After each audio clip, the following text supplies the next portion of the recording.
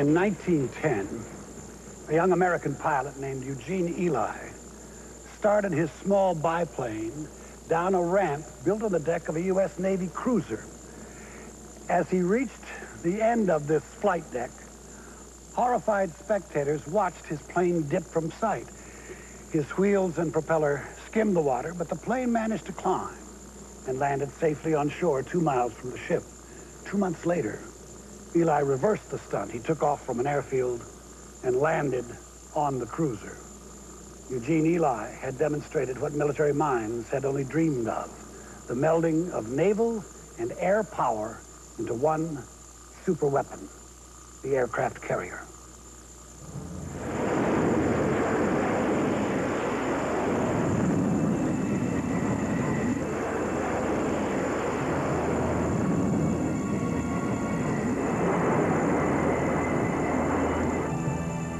August 2nd, 1990, when Iraq invaded Kuwait, the carrier USS Independence and her battle group were performing standard fleet exercises in the Indian Ocean. Within hours, they had moved into the Gulf and were ready to support some battle group represented the only U.S. offensive strike power in the region. When we have national crises, like um, crisis in Iraq, it's, you saw the problem on getting forces there. I mean, ground troops, you've got to fly in, you've got to have supplies in a matter of hours uh, from, the, from the Mediterranean within 48 hours. They're on the scene capable of laying down three squadrons of attack aircraft, two squadrons of fighter aircraft, day and night off of each aircraft carrier. You have what you need, almost no matter what you need, uh, at almost any point in the, in the globe. Um, Desert Storm showed that the Navy could operate at the same sortie rates as the Air Force, um, plane type by plane type. By the time Operation Desert Storm began on January 17, 1991, the U.S. Navy had deployed six aircraft carrier groups to the Persian Gulf and the Red Sea, capable of launching over 300 of the world's most advanced strike and interceptor aircraft. FA-18s and A-7s flew thousands of strikes against targets in Iraq and Kuwait and dropped over 11,000 tons of ordnance. No impact yet. But there's two. Boom, boom. Secondaries, big time. These aircraft carried out attack, reconnaissance, brethren. They were perfectly capable of operating from land or from sea. We're talking about air complement is the equivalent to most of the nations in the world's air forces. Our missions tend to be very long, four and a half to five hours. Brief normally takes place about an hour prior to your launch time. Once we take off, we uh, end up going feet dry, proceeding about 380 miles over uh, desert where you have no reference, no towns, no TACANs. So you're basically trusting the systems in your airplane, your own gut feeling. The F-18 uh, provides us a unique opportunity to fill uh, several roles. Uh, we are primarily carrying uh, ordnance across uh, into Iraq to uh, military targets. The bomb damage assessment that we've brought back from, from our strikes indicate that the airplane is truly accurate from virtually any altitude. Its agility and its computer systems just make it a dream in combat. The multi-billion dollar aircraft carrier accomplished its mission in the Gulf with remarkable precision. The carrier's role as a highly mobile, self-reliant, and heavily armed military force made its presence invaluable. It's a very, very effective weapon, a mobile airfield that can go anywhere in the world. And there's basically very few strategic targets that an aircraft carrier cannot hit with its conventional or nuclear uh, capability. None. It couldn't have been one, I don't believe, without the, the aid of the aircraft carriers. The evolution of these technological marvels began 90 years earlier when the dream of flight became a reality. The Wright brothers' first powered flight at Kitty Hawk in 1903 had scarcely touched down when some military experts began to view the airplane as a war machine. Not only could it serve as a land-based weapon, they reasoned, it could also operate from a ship at sea. But naval officials had their doubts. In September of 1910, the U.S. Navy gave the okay to launch and bird both by curiosity and the fear that a German steamship line was about to attempt the same experiment. The ship was easy to find, but the pilot was not. Wilbur Wright rejected the Navy's offer, but fortunately, a visionary American aviator named Glenn Curtiss and a stunt pilot named Eugene Ely were eager to assist. In November of 1910, Eugene Ely raced his Curtiss Pusher Model D biplane off the forecastle of the USS Birmingham. The flight was a success. Several months later, they were ready to attempt a landing on a cruiser. A hook was mounted underneath the plane to engage wires weighted only with sandbags. This primitive arrestor system proved successful. With the success of these experiments, the Navy was now guardedly optimistic about the future of naval aviation. I got the idea it would amount to something for naval purposes. So I put in a request to the Navy Department. And they came back and quite frankly said that they didn't believe aviation would ever amount to anything. But if it turned out to be otherwise, uh, they would consider my request. During that winter, Congress appropriated money for the Navy to buy three airplanes. In 1914, the U.S. Navy founded the Naval Aviation Flight Academy at Pensacola, Florida. Almost immediately, young men volunteered to become pioneers of naval aviation. During this period, Britain ruled the seas. Always open to new ideas, the British also began developing naval aviation. It was really the First World War which spurred the Royal Navy into putting aircraft to sea. The major reason for putting aircraft on ships was to extend the eyes of the admiral so he could see over the horizon and spot for enemy battle fleets. So in the early days of the First War, the Royal Navy took over a number of cross-channel steamers, converted them to carry seaplanes. This early adaptation of a modern aircraft carrier took modified planes that would land in the water alongside a fighting ship and were then hoisted on board. The United States also used seaplanes in World War I. Both nations saw seaboats, but it was soon found that seaplanes had limited capabilities. They could only be launched and recovered in calm weather. When storms prevailed, seaplanes were rendered useless. Soon, Britain and the United States developed catapults, which more easily launched aircraft from ships. With these innovations, both countries were now ready to create ships devoted solely to launching and landing aircraft. The um, first aircraft carriers, uh, in the more traditional sense, were not special built. They were converted from other vessels, armored cruisers or something, and they featured relatively short decks and primitive landing systems.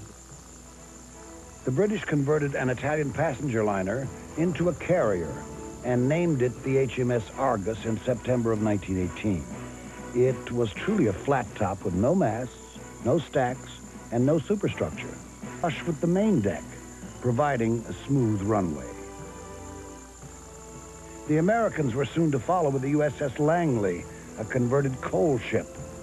The Langley's flight deck measured 542 feet in length, and the carrier could hold 30 flight-ready aircraft, and an elevator was installed to transport the planes back and forth from the flight deck to the hangar below. The Navy quickly began testing their new invention. Early attempts at landing were highly dangerous. The light aircraft were likely to be caught by gusts of wind and either crash on the deck or swerve over the side.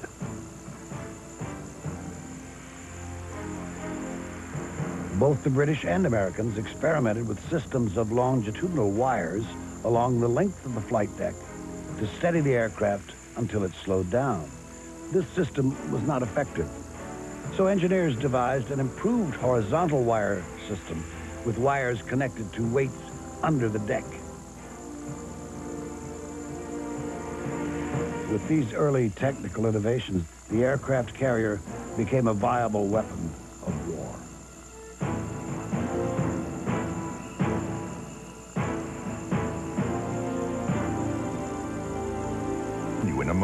on A&E.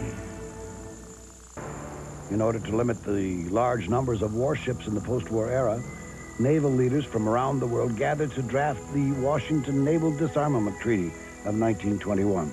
The treaty provided the first formal definition of an aircraft carrier. A warship with a water displacement in excess of 10,000 tons, but not more than 27,000 tons, designed for the specific and exclusive purpose of carrying, launching, and landing aircraft. Under the new treaty from existing battle cruiser hulls, the converted carriers Lexington and Saratoga had flight decks that were substantially longer than the Langley, and they could carry twice as many planes. The Navy chose an open hangar design, which allowed the maximum number of aircraft to be carried and provided for better ventilation of gasoline fumes while aircraft engines were being warmed up. The Japanese were quick to complete the world's first true aircraft carrier, the Hosho. It was a small ship capable of carrying only 26 aircraft. The States commissioned its first true carrier, the USS Ranger.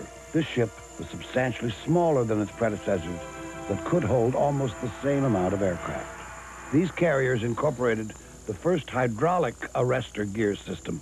If a plane began to swerve to one side, a compensating mechanism would increase pressure and tug the plane to the center of the deck. This system, modified and improved, is still in use today. I first qualified in a fighter back in February 36. I found it quite exciting because it looked like a fairly small, about flying an airplane in cooperation with somebody else, and that somebody else would be the landing signals officer. Before we were qualified, at least before we were registered as qualified, we obviously were qualified by the time we'd done the second one. The Yorktown, Enterprise, Hornet, and Wasp followed.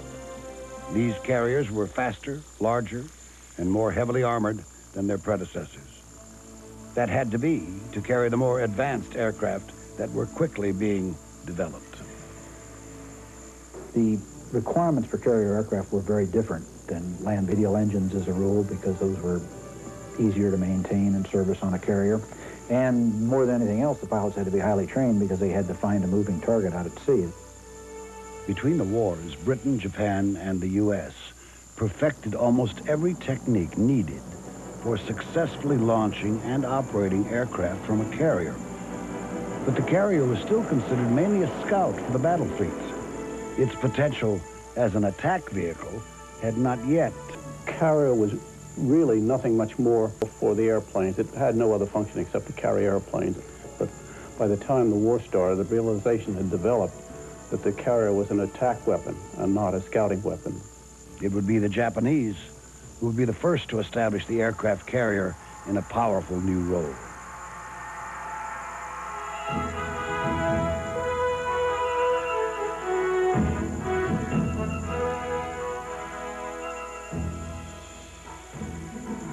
December 7, 1941, the Jap aircraft from six aircraft carriers more than 300 miles off the coast of Hawaii.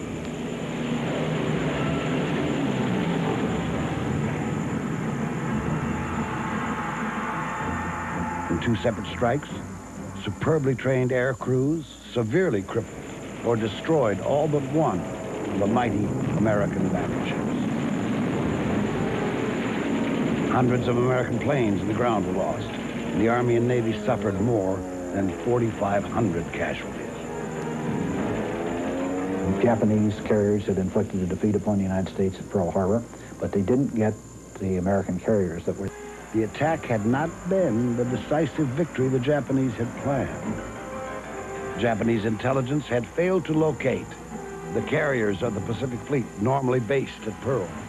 The Japanese had made the carrier the most important ship in their navy, and now the Americans would be forced to make it the centerpiece of their fleet as well. The Pacific War had become the carrier war. Within hours, the United States was an active participant in World War II. We will gain the inevitable triumph, so help us God. But in the early stages of the Pacific War, the Japanese enjoyed most of the victories. American forces desperately needed a boost in morale. In April of 1942, 16 Army B-25 bound for Tokyo. The Americans were hoping to divert some of the Japanese military force away from their South Sea objective, as well as prove they were capable of striking the Japanese homeland. The raid, led by Lieutenant Colonel James Doolittle, began when the carrier was still hundreds of miles away from the target. Doolittle's own plane led the assault. It took a full hour to lift all the heavy bombers from the carrier deck.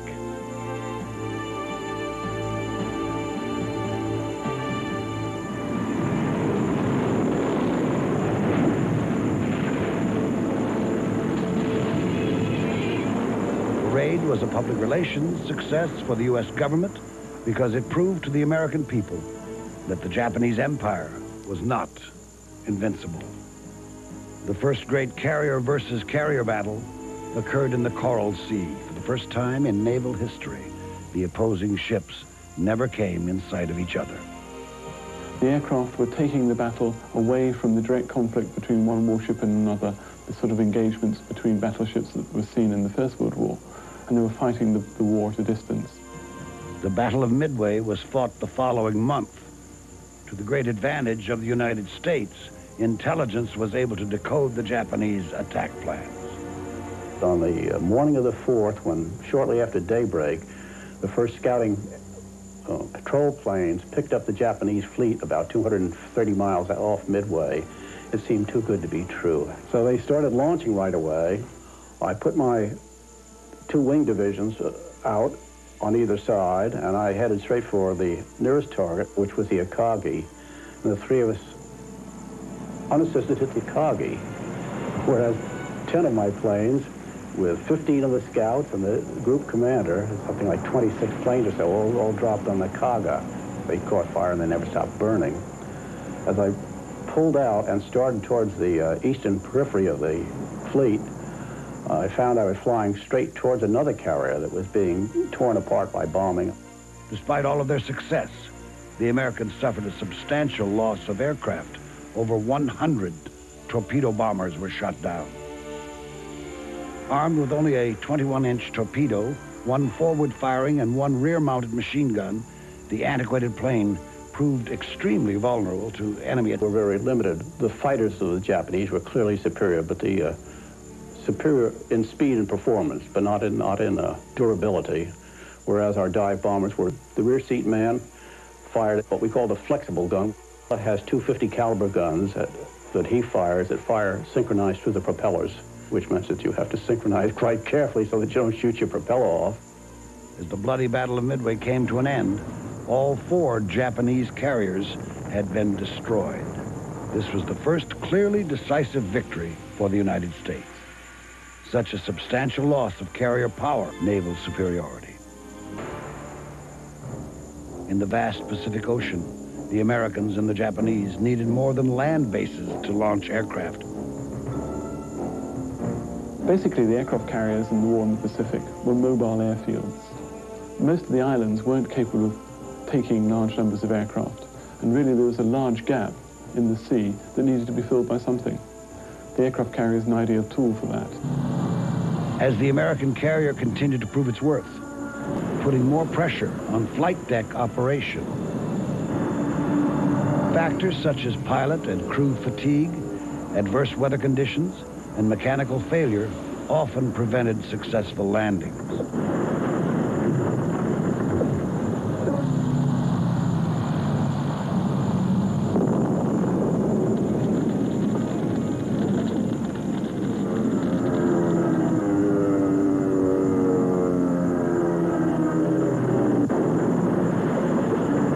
Recognizing the need for larger, safer runways, the United States developed a more advanced carrier design.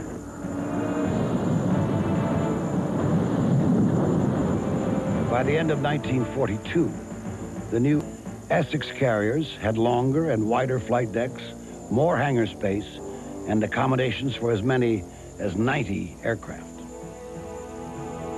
These carriers were fully complemented with anti-aircraft firepower fore and aft, including 20 5-inch guns. Months later, Britain and America developed another class of carrier, the smaller but slower escort carrier.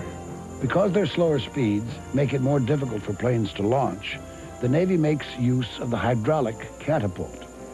The plane was hitched to the catapult and pressure of hydraulic fluid that was then released, driving the pulleys and the aircraft forward. During the Second World War, the United Kingdom in particular was being strangled by the use of German submarines against the merchant convoys crossing the Atlantic. The range of land-based aircraft at that time was limited. Escort carriers, carrying only a limited number of aircraft, both for air defense and uh, as anti-submarine weapon systems, were probably a key feature in the Battle of the Atlantic, in the battle against the German submarines, the German U-boats. Without them, the Battle of the Atlantic wouldn't have been winnable. The Japanese suffered their worst defeat of the war at the Battle of the Philippine Sea in what became known as the Great Marianas Turkey Shoot. 400 Japanese planes were shot down in one day. Japanese naval air power was almost completely decimated as they lost three additional carriers. Japanese had resorted to using the kamikaze pilot. More than 2,500 Japanese pilots volunteered for a one-way mission to certain death in a desperate attempt to destroy the American carriers.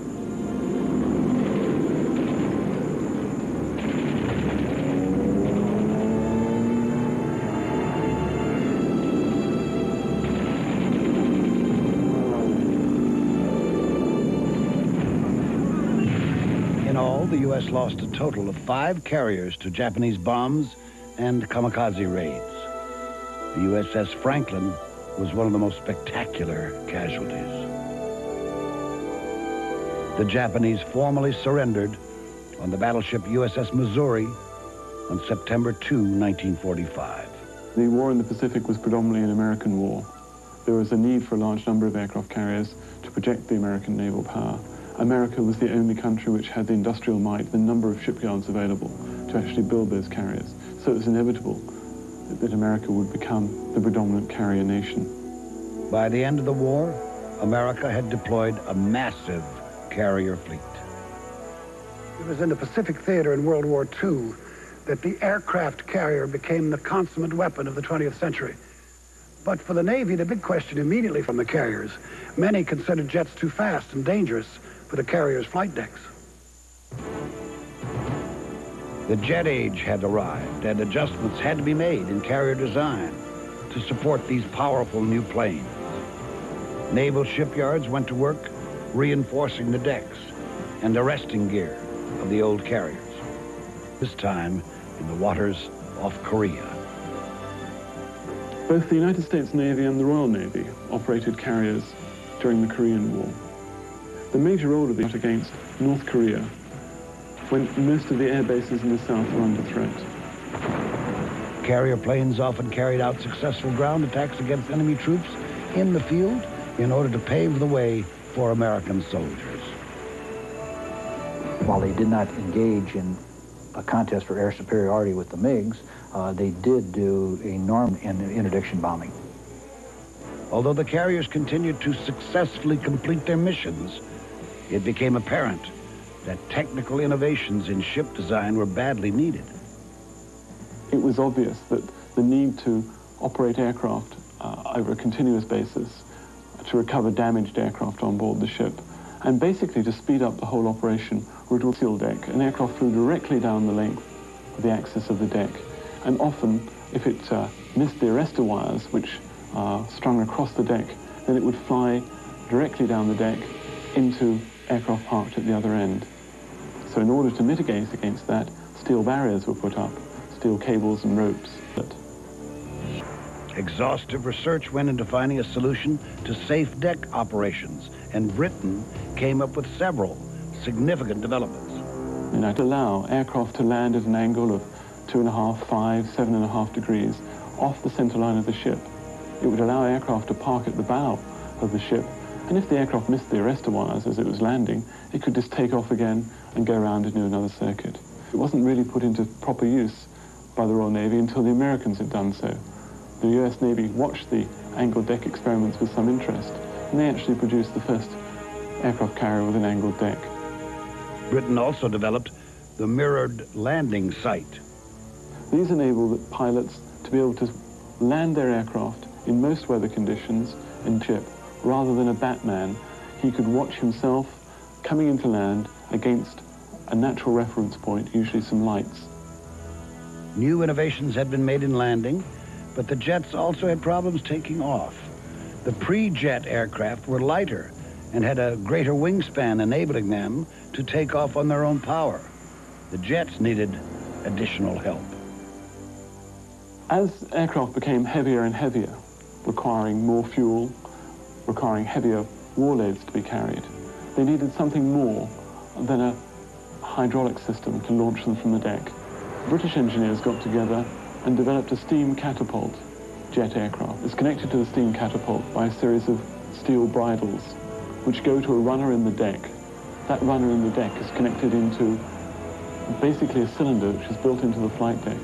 Steam pressure is built up, the pressure released, the dolly, as it's called, travels down the flight deck, dragging the aircraft with it, and flings it into the air. The first class of carrier designed to launch jet aircraft was the, the biggest carrier ever built. The flight deck measured over 1,000 feet in length.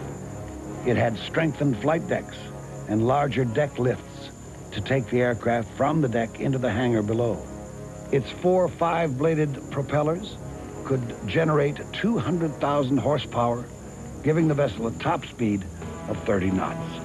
Designers incorporated all the new innovations, steam catapults, angled deck, and better arrestor gear.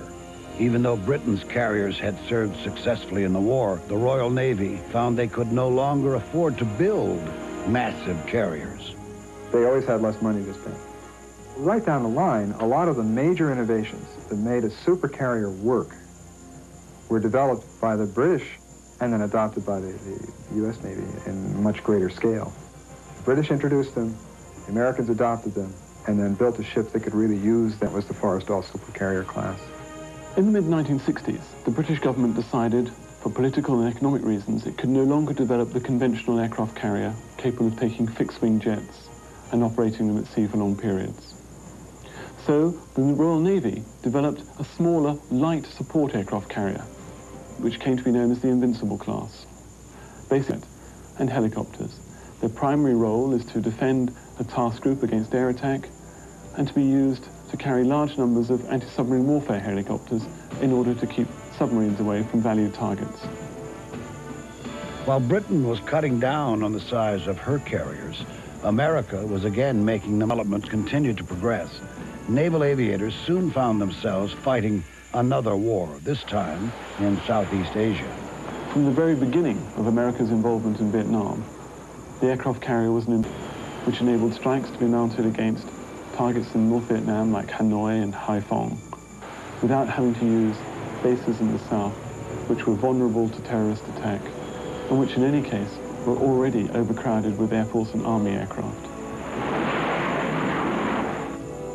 The uh, Navy pilots observed during the Vietnamese War, just as the Air Force pilots did, that the training in the pre-Vietnam years had been too concerned with safety, and if you're going to be very concerned about safety, you're not going to press the limits of the envelope. Uh, the Navy demanded of itself better training and created the Top Gun School. This new breed of highly trained aviator is much more capable than the pilots of just a few years ago, and a major innovation in the way in which carriers are fueled would completely revolutionize the present-day carrier. One of the biggest strides in carrier development came with the advent of the nuclear-powered carrier. Its size and capabilities are astounding. A total of 17 stories from superstructure to engine room. When the Americans developed a nuclear reactor that was economic and safe enough to go to sea, it was obvious that they would put it in their capital ships, the aircraft carriers. In 1961, the USS Enterprise became the world's first nuclear-powered aircraft carrier. Propelled by eight atomic reactors, this alternative source of energy enables the ship to operate for 12 years without refueling. Nuclear propulsion made it a different ship because now you could operate this thing for 800,000 miles in the latest ships without having to refuel. It was over 10 years until another nuclear-powered carrier, 1974, the USS Nimitz became the second nuclear-propelled carrier. Unlike the Enterprise, this ship relied on only two atomic reactors. This reduction in reactor space subsequently provided badly needed storage space in the decks below. Below the flight deck of a modern aircraft carrier, there's virtually shops to aircraft workshops, bakeries, it has facilities for sleeping, for eating, gives it a flavor of being continental Europe. The rest of the aircraft carrier is designed to get from point A to point B and to keep those aircraft in the air, which means there's a great deal of area that is, uh, put that aircraft carrier at sea and leave it at sea for six months. Everything that can be fixed on an aircraft and then go wrong with an aircraft is done on that aircraft carrier, from changing an engine to almost taking a wing off. The prime role of a modern aircraft carrier is to keep aircraft at sea for a prolonged period to enable air operations against other ships and submarines or against land targets. Every effort is made to keep this small city independent and mobile. Any replenishment the carrier may need is brought to it from the supply ship. Members. The flight deck layout of a modern carrier is a direct reflection of operating procedures. There are four deck edge elevators, one on the port side, where it can bring aircraft to the pair of steam catapults in the rear of the ship. The others are on the forward and aft of the island on the starboard side. The positioning of aircraft in relation to the elevators is crucial because rapid flow of aircraft is essential when a large airstrike is launched. The carrier catapults are all at slightly different angles to allow multiple launches. A carrier can launch its entire complement of 90 aircraft in under 30 minutes. The flight deck crew is the vital key to this operation. The carrier flight deck is probably as close to a ballet choreographed industrial situation that you'll ever see. Each man on the carrier deck has to move in a certain way at a certain time or his life is at stake. And he has to do it while he's doing something important, arming bombs, uh, making sure that the airplane is properly inspected, uh, positioning it. Uh, it's a remarkable engineering accomplishment. The color of the shirt tells the function of the man. Yellow shirts direct all the airplanes on the flight deck. Nothing moves without their permission. White shirts inspect the aircraft as they approach the catapult for launch. Green shirts hook the planes up and perform all maintenance. Purple shirts fuel the aircraft. Blue shirts chock and chain them. Red shirts handle ordnance. Silver suits are the firefighters. If an airplane crashes, their job is to rescue the crew. The brown shirts are the plane captains, responsible for the care of each airplane. They work long hours under arduous conditions, and although they are well trained, the work is inherently dangerous. On the flight deck, one mistake has a potential for lethal consequences. The extreme proximity of man and machine is a fundamental hazard. The planes are congested in close quarters in the flight and hangar deck. Every measure is taken to compact planes and other equipment when not in use. The planes have wings that fold up to reduce their size. When the plane lands, almost immediately it is taken and parked on the deck out of the way of flight deck operations. Built into the flight deck are four powerful steam catapults that induce acceleration more than five times the force of gravity. Within two and a half, three seconds, you go from zero to 150, 160 miles an hour, and it's just really a trip 60 feet off the water. There's nothing that can compare to it, absolutely nothing. It's uh, an extraordinary thing to see them in operation and to see the uh, fantastic amounts of energy that are required to loft these big airplanes, uh, you know, 25, 30,000 pound airplanes uh, off the carrier deck from zero speed to flying speed and perhaps 120 feet. Putting 20 tons of airplane on a patch of rolling carrier deck can make even the most experienced pilot nervous. He never watches the deck. A 50-ton pull on the tail hook brings the airplane to a complete stop in two seconds. By the time you have realized that you're about to land an aircraft carrier, you're on the deck. It happens that fast.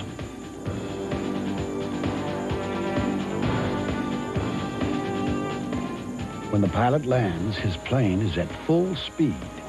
He has only a split second to determine whether he has caught the wire or must continue at full throttle for another approach.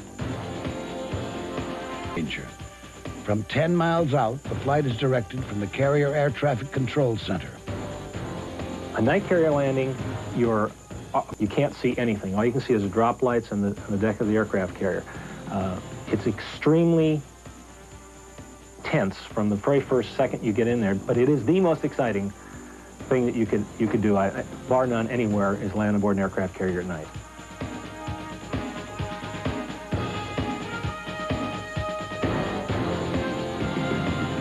Obviously, aircraft carriers like the Nimitz suggest themselves as major targets in time of conflict. That's why an aircraft carrier will never sail alone. It's always protected by air defense and anti-submarine ships.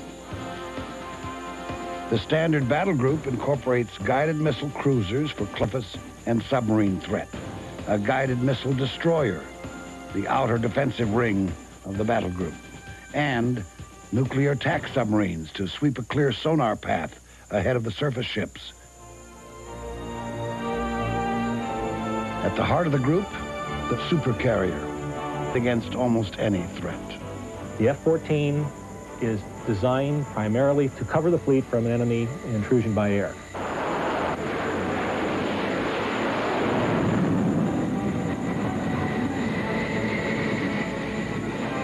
It's designed to carry six Phoenix missiles, the most expensive, the most sophisticated missiles in the world. The fire and forget missile.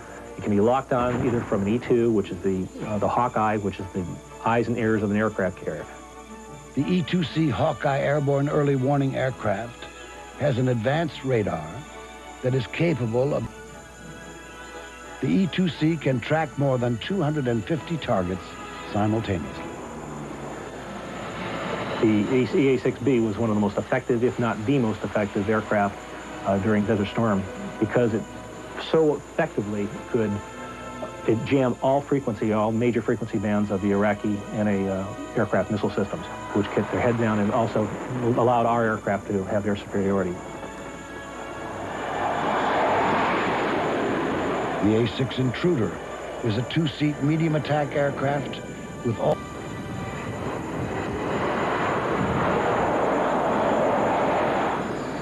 The Sea King anti-submarine helicopters use electronic sensors. They place sonar in the water for submarine detection.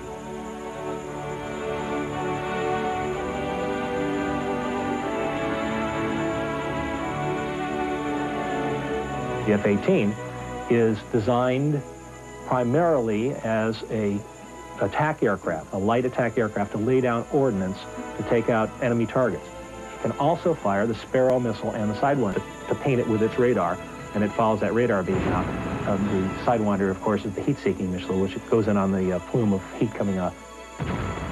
The construction cost for these supercarriers can range into the millions and even billions.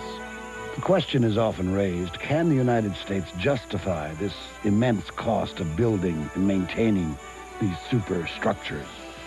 In Desert Storm alone, the six carrier battle groups cost more than $28 million a month to operate. We're really talking about a major investment, but a major investment in a ship which probably will stay in service for at least 30 years. So certainly in that time, it would have paid for itself. In a world that shifted to concerns about wars within the third world, uh, an aircraft carrier becomes the best means of projecting yourself without intruding on the civil population. If you have an aircraft carrier parked 30 miles offshore, you have the same power and, and you're, you're not uh, intruding up, upon a nation. So I think we'll see aircraft carriers uh, in the indefinite future for, for power projection. Many military analysts consider the aircraft carrier a dinosaur, doomed to extinction because of its size, complexity, and cost. Might be the accountant's red pencil.